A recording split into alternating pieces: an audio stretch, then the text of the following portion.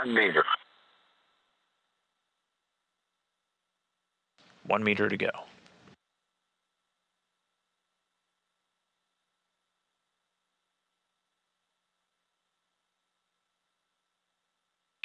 Dragon, SpaceX, on the big loop, contact capture. and soft capture complete, attenuation in progress. All right, we've got confirmation that the hooks have started to drive. And so there's 12 total. We're going to do them in two groups of six. Um, so the, the first set of six driving now. Um, in this split screen view, you've got the newly arrived Dragon Endeavour on the left. On the right there is NASA astronaut and current Expedition 67 Commander Tom Marshburn.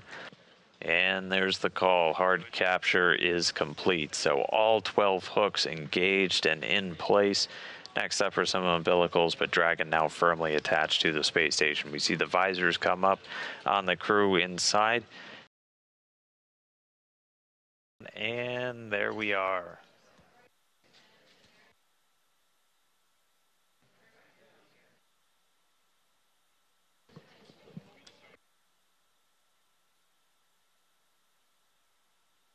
So with the entire AX1 crew now on board, uh, we're going to spend a couple minutes just getting everybody set up, and then we'll be able to kick off our welcome ceremony.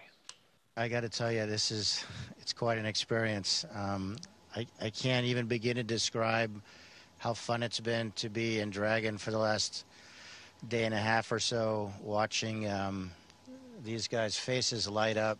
True story.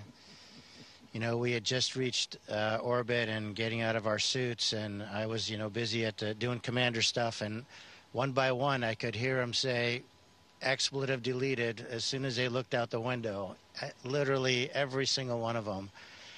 And I just smiled a little bit. And then when I got my turn to look at it, same expletive. It's just an amazing experience. We're here to experience this, but we understand there's a responsibility, and the responsibility is for this first civilian crew to get it right.